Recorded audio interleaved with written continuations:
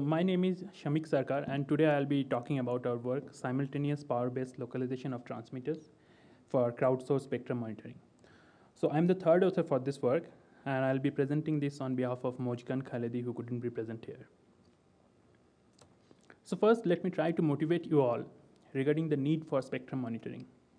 We all know that SDRs are becoming very common. In fact, we envision that in near future, our mobile devices will come with integrated SDRs. And as that happens, various threats will appear. For example, there could be a set of virus-affected SDRs leading to a jamming scenario. There could be cases of selfish users altering their radio settings for using off-limit bands. Or there could be even cases of secondary users not backing off in presence of the primary user. Now, anticipating these threats, the next logical question to ask is, how do we prevent spectrum offense? For that, FCC has an enforcement bureau that relies on complaints and manual investigations. However, as you might expect, this is time-consuming, human-extensive, and costly. With all these facts in hand, we realize that we need an efficient spectrum monitoring method.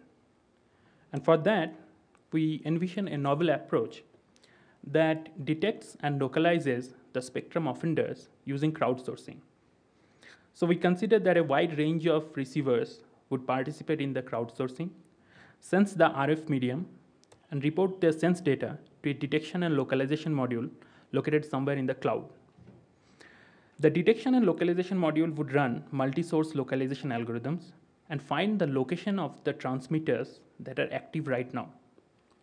And this result can be compared with a database of allowed spectrum usage, and any kind of anomaly could be reported instantaneously. In our model, we considered that the crowdsourcing devices would report the received signal strength, also known as RSS, the timestamp of the measurement, and the location of the receiver. So you see there are two important components in this whole idea.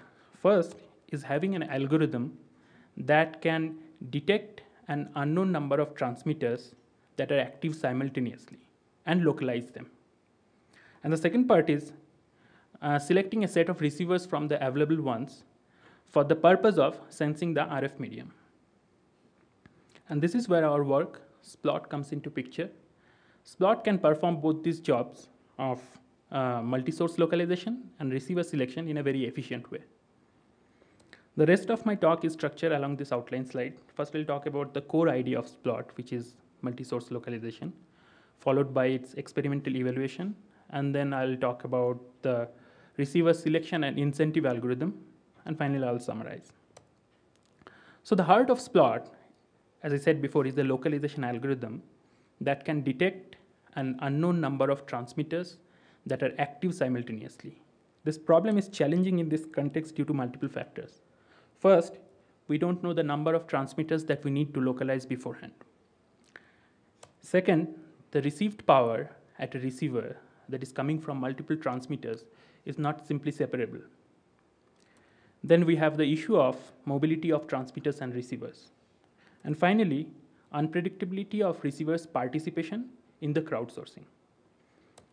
There is some related work in this area. The first one uses quasi-expectation maximization, However, this algorithm requires the number of transmitters that we need to localize as an input.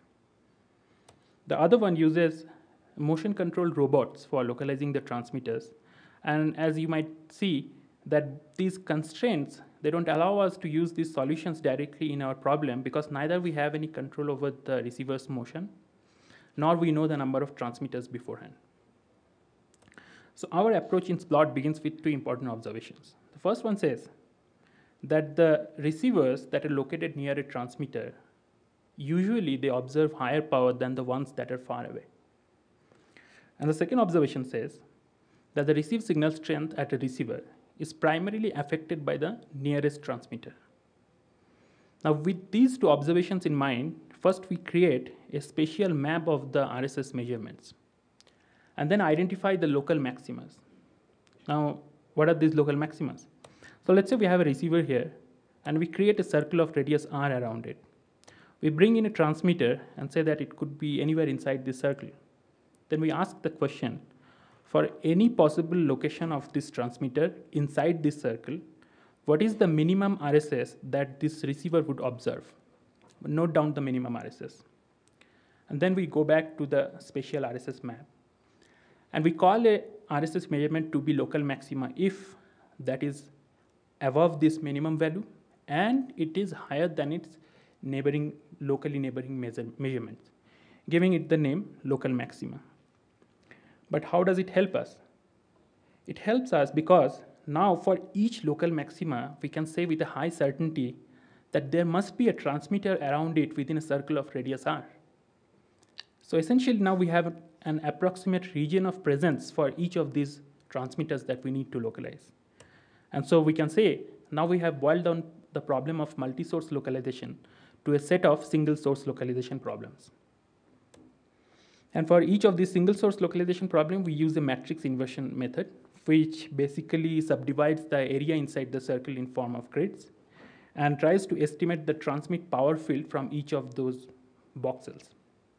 And then decide that the location of the transmitter is the voxel that corresponds to maximum transmit power.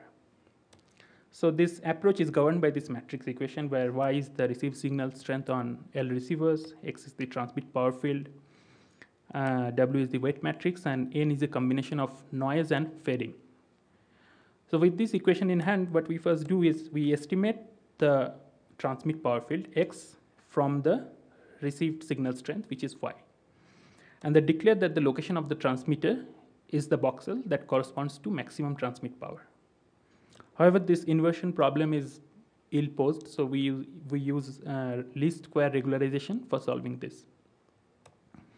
Now I'll talk about the evaluation of SPLOT. So first, I'll talk about the metrics that we used. First is the localization error, which is basically the RMS error between the actual location of transmitter and the estimated location. Then we have the cardinality error, which gives the fraction of time during which your number of estimated transmitters is not correct. And then we have the OSPA metric, which is a combination of the previous two errors. And it basically says, uh, it basically penalizes the localization error based on the number of transmitters that you failed to detect. So for evaluation, the first setup that we considered is the orbit testbed.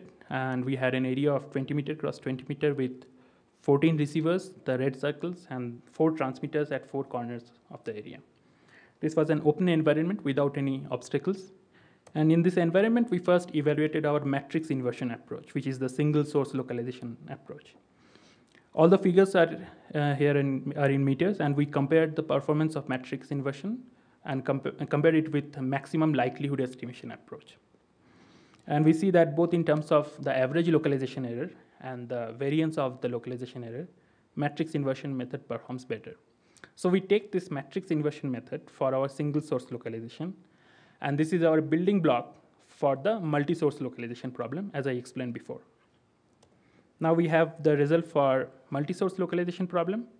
And here on the x-axis, we have the number of transmitters that we need to localize. On y-axis, we have the localization error in meters. The first observation is that in setup 1, the localization error for SPLOT is almost always less than 1 meter. The second thing is that the localization error doesn't really depend on the number of transmitters that we need to localize.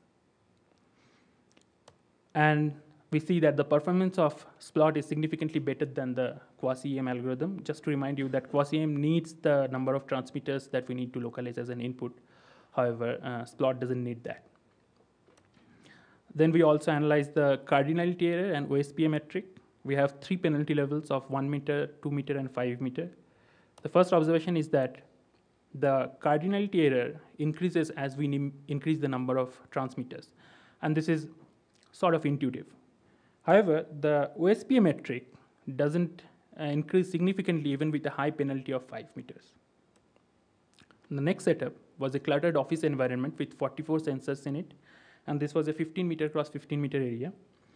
And here we have the result for setup 2. What we see is that for SPLOT, in setup 2, the localization error is almost always less than 3 meters, and again, significantly better than quasi-EM. In these two setups that I talked about, uh, mobility was simulated because those were like, uh, I mean, fixed setup. So we also did some experiments with real-world mobility where uh, our volunteers carried the transmitters and receivers around. And this is the device that we had for transmitter with a transmit power of 1 watt and the RTL SDR attached to mobile devices as receivers. And we had an Android app for processing the signal samples. Uh, we did six experiments with these equipments. I'll talk about only three. So the re remaining three are sort of similar, only that the kind of mobility is different. So this is a uh, university indoor area. We considered the corridors only of a 40 meter cross 40 meter area. We had eight receivers, two transmitters, all of them mobile at normal walking speed. The other one was at university food court area, and here we had six receivers, three transmitters. The objective of this experiment was to identify if the localization error has any relationship with the number of transmitters that we need to localize.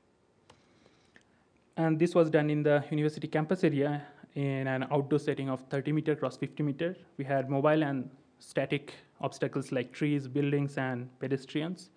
And both the receivers and transmitters moved in normal walking speed. Now we have the result for these six experiments. I talked about only three, and I, as I said before, the remaining, I talked about B, D, and F. The remaining three are sort of similar.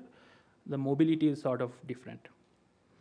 Um, what we see is that on the y-axis we have the localization error meter. What we see is that uh, for all of these experiments, the uh, um, localization error for SPLOT is less than 5 meters, again significantly better than quasi-EM. And for experiment CDE, uh, we have lower localization error. Again, this is intuitive because in these experiments, those receivers and transmitters were not significantly mobile or immobile. The experiment D that I said that we did in the food court area, here we have the result. We see that SPLOT doesn't really depend on the number of transmitters that we need to localize. However, the same cannot be said for the other algorithm. Now I'll talk about our receiver selection mechanism. So the question here is that there might be various um, a number of receivers that are willing to participate. We need to select only a few of them such that the spatial coverage is maximized. For that, we have a simple model. The willing or participating receivers will send their location to the controller. The controller would run our algorithm and select only a few of them. And then they will send, those selected uh, receivers will sense the RF medium and report the data to the controller and this would be repeated after an interval of t seconds. Before I get into the algorithm, I need to introduce a couple of things. First, we construct a weighted graph using all the available nodes. Here, the weight is the amount of overlap between the sensing region of two nodes. And then we define a new metric called degree expansion. So let's say we have a set of nodes S, and its neighboring set is NS. We ask the question, what is the minimum overlap of S with its neighboring set. We call that degree expansion. The idea is that we want to maximize that minimum overlap so that we have a higher spatial coverage. So essentially, the problem is that find a set of nodes S that maximizes the degree expansion. Unfortunately, the problem is NP-hard, so we use a heuristic solution, a greedy heuristic, that selects a node in each iteration based on its con marginal contribution to the degree expansion. Having selected the nodes, now I'll ask that how much do I need to pay to those who contributed? So now I enhance the model a little bit and say that the receivers not only report their location, they also report their cost of sensing. And the localization algorithm, the sampling uh, or selection algorithm also considers this cost as a factor of the selection. And these participants would be paid after each cycle. So we need an algorithm that motivates the participants to report their cost truthfully. And here we have the mathematical formulation, formulation for that problem. We say that maximize the degree expansion, and essentially saying that maximize the spatial coverage and minimize the cost. So we uh, combine that in the ratio of degree expansion by cost. And this, has, this maximization has to be solved with respect to two constraints. The first one says that the payment scheme should be such that you will get more money if you report your cost truthfully. And the second one says that your payment amount will always be greater than your actual cost of sensing.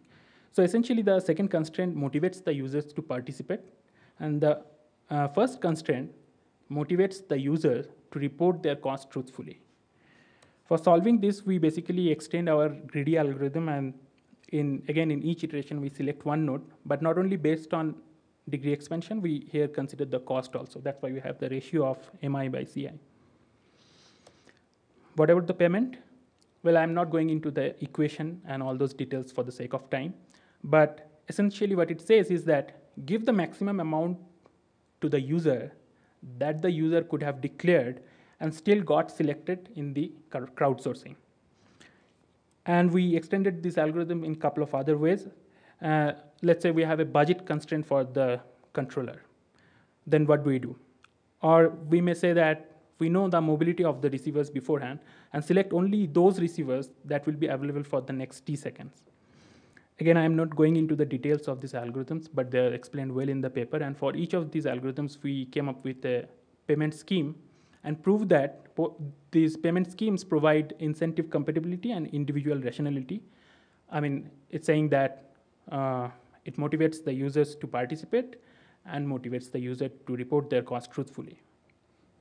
With that, I would like I would like to conclude saying we came up with Splot, an efficient algorithm for localizing an unknown number of transmitters that are active simultaneously, and a receiver selection mechanism and incentive mechanism for selecting a set of nodes and incentivizing them based on their contribution, and evaluated our framework using various experiments. This work can be extended in future in multiple directions. I'll mention two important ones is the effect of having multiple antennas on these crowdsourcing, some of these crowdsourcing devices, and making the algorithm robust against misreporting. So right now the uh, receivers might simply send false data. Uh, there is no way to stop them from doing that. How do we make the algorithm robust against that? Yeah, that's all from my side. Please let me know if you have any question.